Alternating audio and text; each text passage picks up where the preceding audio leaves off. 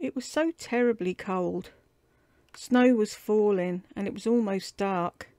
Evening came on, the last evening of the year. In the cold and gloom, a poor little girl, bareheaded and barefoot, was walking through the streets. Of course, when she'd left her house, she'd had slippers on, but what good had they been? They were very big slippers, way too big for her. They belonged to her mother. The little girl had lost them running across the road, where two carriages had rattled by terribly fast. One slipper she'd not been able to find again, and a boy had run off with the other, saying he could use it very well as a cradle some day, when he had children of his own. And so the little girl walked on, on her naked feet, which were quite red and blue with the cold. In an old apron she carried several packages of matches, and she held a box of them in her hand. No one had bought any from her all day long, and no one had given her a cent. Shivering with the cold and hunger, she crept along, a picture of misery. Poor little girl! The snowflakes fell on her long fair hair, which hung in pretty curls over her neck. In all the windows lights were shining, and there was a wonderful smell of roast goose, for it was New Year's Eve. Yes, she thought of that. In a corner, formed by two houses, one of which projected further out into the street than the other, she sat down and drew up her little feet under her. She was getting colder and colder, but did not dare go home, for she'd sold no matches, nor earned a single cent, and her family would surely beat her. Besides, it was cold at home, for they had nothing over them but a roof through which the wind whistled, even though the biggest cracks had been stuffed with straw and rags. Her hands were almost dead with cold. Oh, how much one little match might warm her! If she could only take one from the box and rub it against the wall and warm her hands. She drew one out. Ratch! How it sputtered and burned!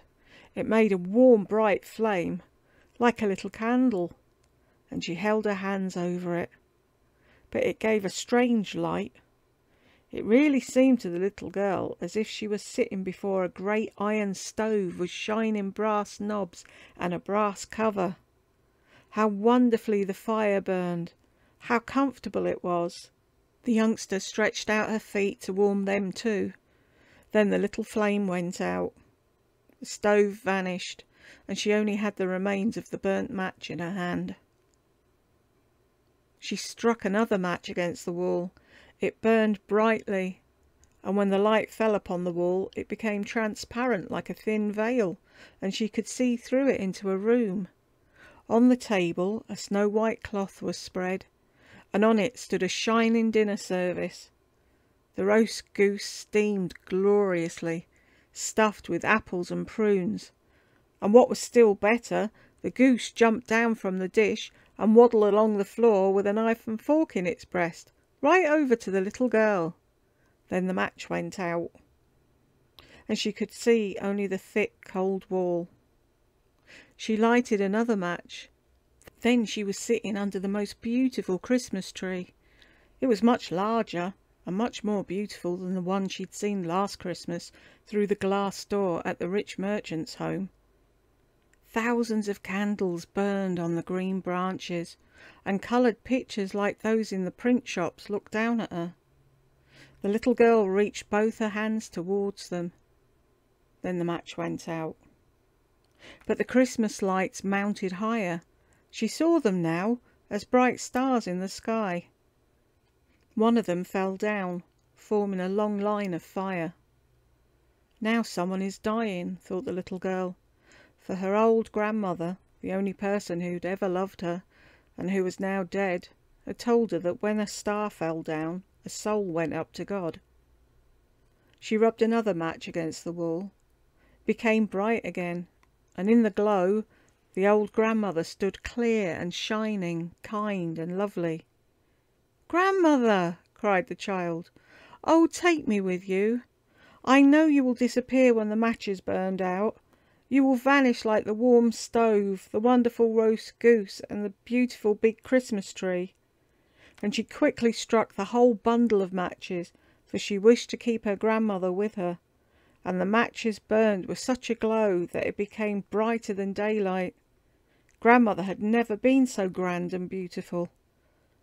She took the little girl in her arms, and both of them flew in brightness and joy above the earth, very, very high, and up there was neither cold, nor hunger, nor fear. They were with God. But in the corner, leaning against the wall, sat the little girl with red cheeks and smiling mouth, frozen to death on the last evening of the old year. The New Year's sun rose upon a little pathetic figure. The child sat there stiff and cold, holding the matches, of which one bundle was almost burned. She wanted to warm herself, the people said. No one imagined what beautiful things she had seen, and how happily she had gone with her old grandmother into the bright new year.